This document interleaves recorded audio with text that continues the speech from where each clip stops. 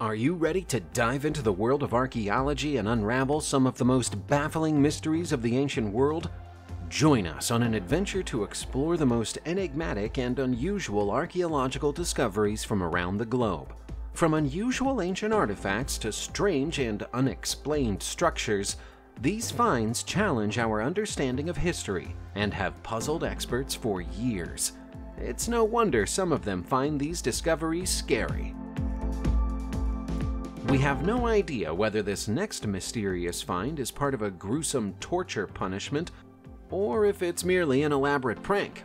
Found in the Medieval Crime Museum in the German city of Rothenburg, we're told that this device is a scold's bridle, and it was used to punish people who'd been caught lying or gossiping.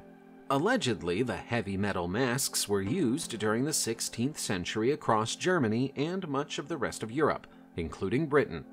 From studying the device, we can see that once it was secured in place, the mouth attachment would push back the wearer's tongue, preventing them from speaking and also causing them a great deal of pain. Some British records suggest that it wasn't just liars and gossipers who had to worry about being trapped inside one of these. Bad musicians or dishonest tradesmen were also likely to be punished the same way. Some of the British records may have been forged by the Victorians, who were prone to exaggeration and fabrication, but there's no doubt that the devices themselves were real. Perched high atop a mountain overlooking the picturesque city of Cuenca, Spain, is a haunting pair of eyes that have become the subject of a local legend. Painted anonymously on the rugged surface of the mountain, these two blue eyes are a constant reminder of a tale of forbidden love that has been passed down from generation to generation for nearly a thousand years. The city of Cuenca, with its well-preserved medieval architecture, sits atop a hill of limestone that was once a fortress built by the Moors during the Muslim conquest of the Iberian Peninsula in 714.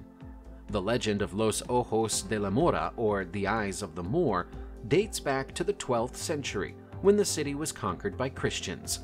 As the legend goes, a beautiful Moorish woman and a Christian soldier fell in love, but their love was forbidden by the strict religious laws of the time. Despite their efforts to keep their love a secret, tragedy befell the couple when the young soldier was assassinated by a group of Moors organized by a rejected suitor. Heartbroken and unable to bear the pain of living without her love, the woman eventually died, and it is said that her spirit still watches over the city from the mountaintop, with her eyes gazing down at the place where she was meant to meet her lover. The Scavenger's Daughter, a torture device invented during the reign of King Henry VIII of England, is undoubtedly one of the most brutal instruments of torture ever conceived. Designed by Sir Leonard Skevington, lieutenant of the Tower of London, this metal A-frame rack had a disturbingly simple design. The victim's head was fastened to the top point of the A, the hands at the midpoint, and the legs at the lower spread ends. When the frame folded, the body was compressed, blood oozed from the nose and ears, and the victim was left in unimaginable pain. This complement to the traditional rack was used in numerous cases, including the torture of the English Catholic priest Thomas Cottam, who endured it twice before his eventual execution in 1582. It was so inhumane that Thomas Miagh, an Irishman accused of being in contact with rebels in Ireland, left a chilling message on the wall of the Beauchamp Tower in the Tower of London. By torture strange my truth was tried, yet of my liberty denied. It was probably the last thing he ever did. Archaeologists in southwest Spain made astonishing discoveries during an excavation in Badajoz in April 2023.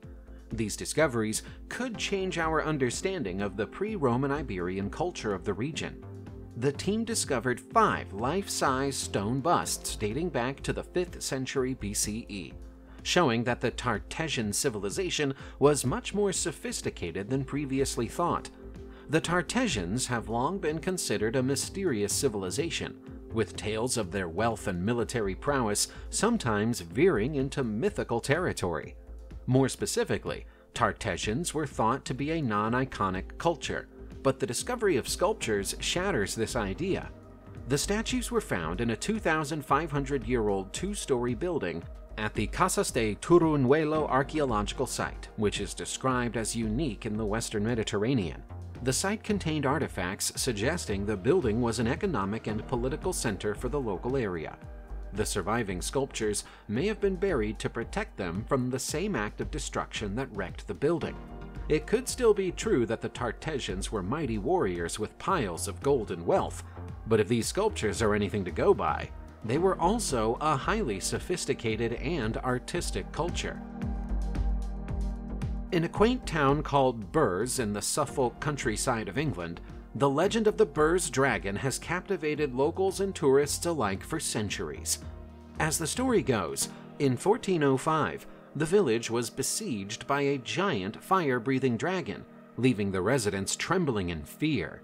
With serrated teeth and a long tail, the creature was impervious to arrows and even killed a shepherd and his flock.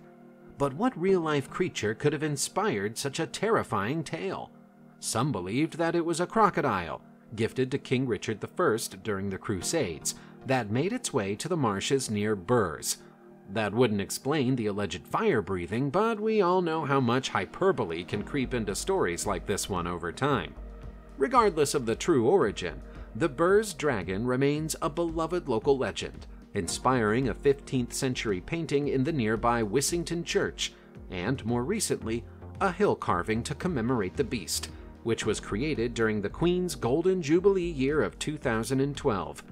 The Bures dragon is a testament to the enduring power of myths and legends to captivate our imaginations, even in the modern era. When we think of jewelry, gold, silver, or precious gems may come to mind. But for the Victorians of Britain, jewelry made out of human hair was the more trendy accessory. Making art and accessories out of hair or hair work was popular for centuries before it went out of fashion in the 1920s. According to Victorian Gothic, husbands wore watch fobs made of their wives' hair, while locks from the deceased were crafted into rings and brooches. Ladies even collected snippets of hair from their friends to add to their autograph books. Hair was also used to make wreaths, necklaces, and other pieces of jewelry.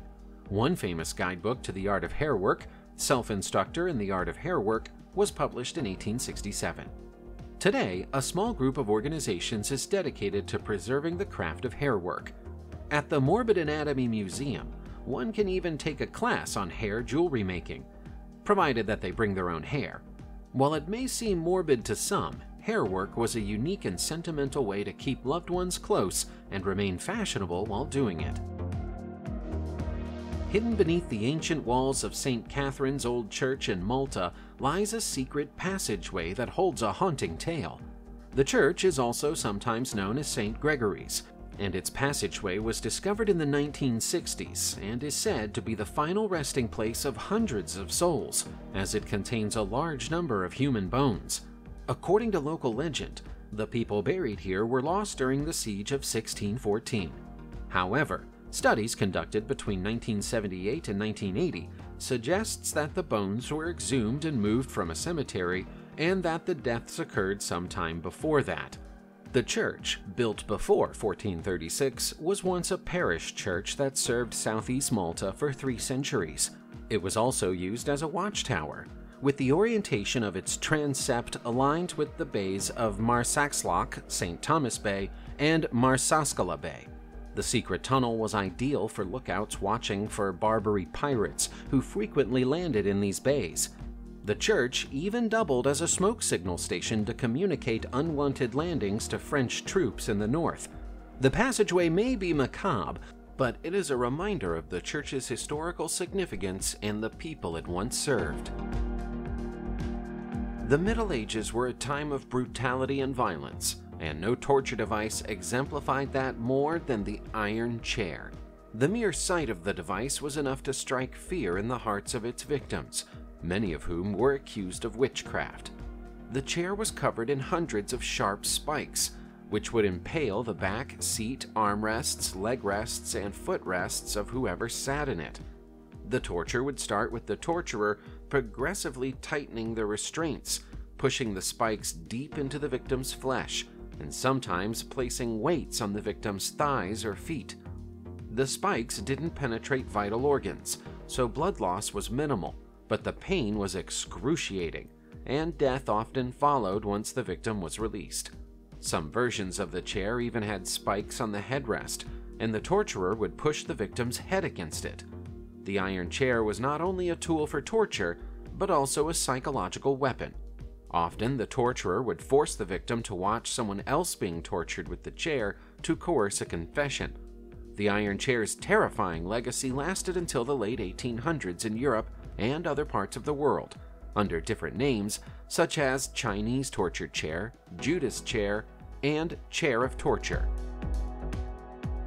Let's talk about a strange piece of jewelry that was found inside the tomb of Tutankhamun when it was opened by Howard Carter in 1922. It's a green gemstone ring that historians claim contains a depiction of the ancient Egyptian deity Ptah.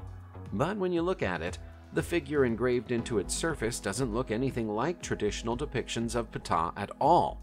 Instead, it looks rather more like the textbook gray alien of myth and legend. That's why the artifact is referred to as Tutankhamun's alien ring by so many fringe theorists on the internet. The ancient Egyptians were so different from and so much more advanced than the cultures around them during the peak of their powers that many fringe theorists believe that they had external assistance with their technology. And when we say external, we mean extraterrestrial. To believers of such theories, the ring is solid physical evidence. Mainstream theorists are a little more skeptical and dismiss the idea of the figure being an alien as childish nonsense. But there are still unanswered questions about why it looks the way it does. There's something a little eerie about looking at these stone masks, which come from the Judean hills in Israel. Perhaps it's because they look a little like human skulls, and they were probably designed that way on purpose. The masks were designed by Neolithic people 9,000 years ago, and as all the features of the masks are different, they're probably all intended to represent different people. It could even be that they're supposed to represent the spirits of a deceased relative or loved one, and were worn by someone who was mourning their passing. Each of the masks has holes in them, possibly to allow a cord to be passed through them to make them easier to wear. Alternatively, the holes may have allowed hair to be secured to the mask to make the effect more convincing. The features on some of the masks appear to be those of young people, while others show unmistakable signs of age. Were they used in magic ceremonies and rituals? Or were they decorative items to be worn for fun at Stone Age parties? We may never know. Ta Prohm, an ancient temple in Cambodia's Krong Siem Reap, has been abandoned for so long that the war between nature and stone for the sovereignty of the site has come to a standstill. In some places, roots and branches have gotten so far through the stonework that they're the only thing keeping the old walls upright. In 1186, during the pinnacle years of the Khmer Empire, King Jayavarman VII ordered the temple to be established as a Buddhist monastery, and the stone face of his mother that he ordered to be put into one of the walls is still plainly visible, even if it has been heavily weathered by the passing centuries. There are other beautiful carvings and statues at the site, but the so called Ta Prohm dinosaur which appears in one of the corners, is by far the most notable. Although it closely resembles a dinosaur and cannot be mistaken for anything else, dinosaurs were not discovered until 1824. How could a carving of a dinosaur be found in a 900 year old Cambodian temple when none of the people who built it had ever seen one? Our final incredible artifact can be looked at and interpreted in one of two ways. The first is as the skull of an extraterrestrial being. The second is as the skull of a human child who passed away long ago because of congenital hydrocephalus. The latter explanation sounds more plausible, but the problem is that it doesn't resemble the skull of any other known congenital hydrocephalus patient. This is the Starchild skull, and it's said to have been found during the 1930s at the entrance to a mine tunnel in Chihuahua, Mexico. It's abnormally large, with a wide back and huge, shallow eye sockets.